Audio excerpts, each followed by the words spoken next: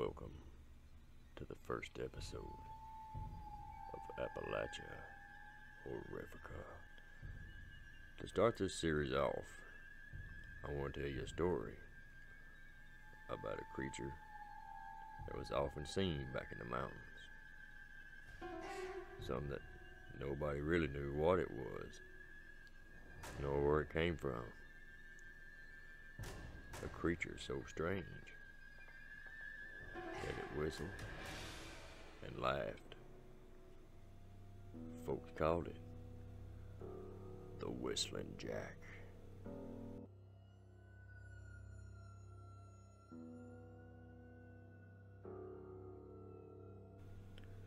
Now, folks back in these old hills, they knew just about every animal that was native to the area. Its habits, noises it made, things like that, where folks had to hunt back then to put food on the table. So they always knowed what was fit for eating and what weren't. That was what was so strange about the Whistling Jack. It's just like they just showed up one day. Folks didn't know nothing about it. And as they described it, as around, I'm guessing, about three feet high. Because the way they put it, said it was about hip high to a man. It said it had a real shaggy, dingy, white type of fur. It said it had a big old head that was similar to a goat or a ram. Now, the first of my kin to see one was my great great uncle. Said he was walking home from a neighbor's.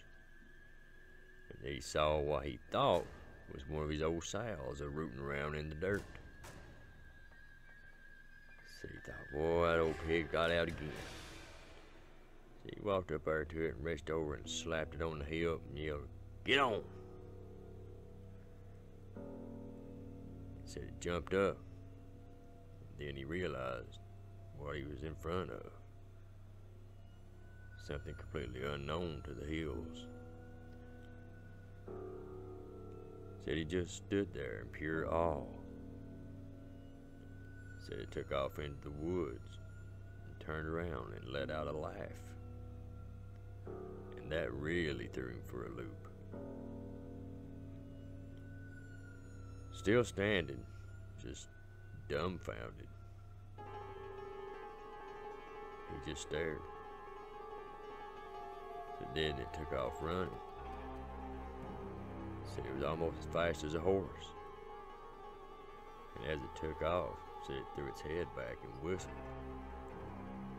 Said he went home and told everybody about what he'd just seen. Said some folks thought he was pulling their leg. He said, No, I ain't joshing you. I seen it.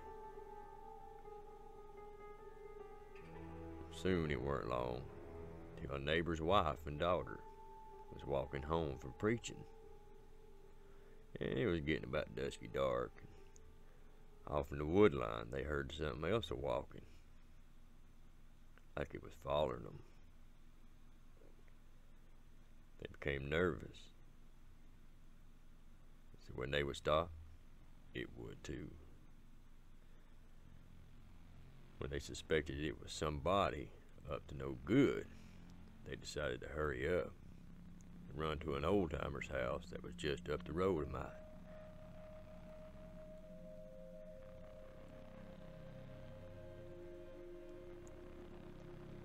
Said when they would speed up, so would it. Said soon he started whistling at them.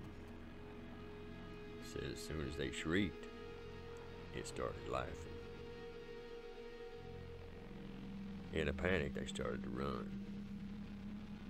They said that old thing cut loose too. So that thing took off for running, snapping tree limbs, twigs, and sticks. It run through briar thickets like it weren't nothing.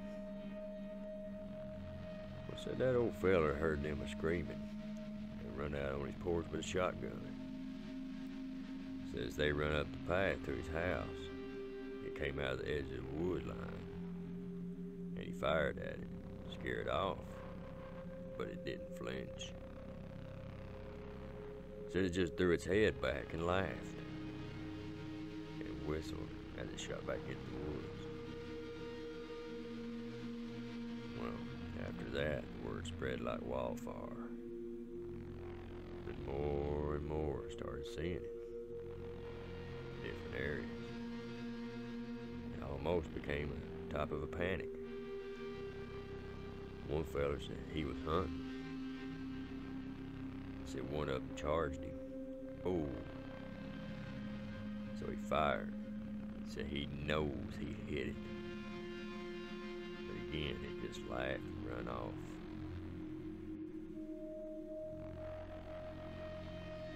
There's also a lot of reports that said late at night.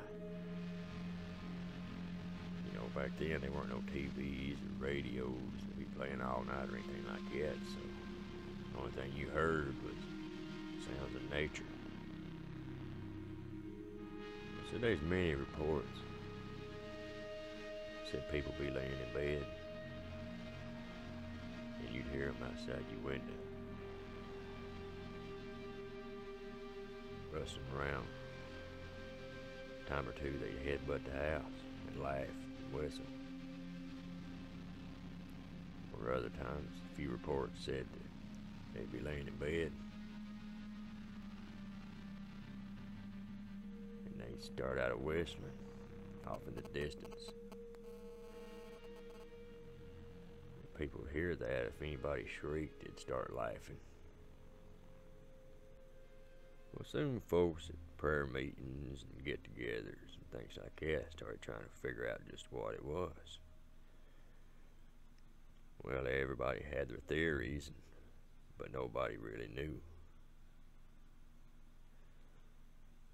Well, soon a lot of the older folks got together and decided to go see the old witch.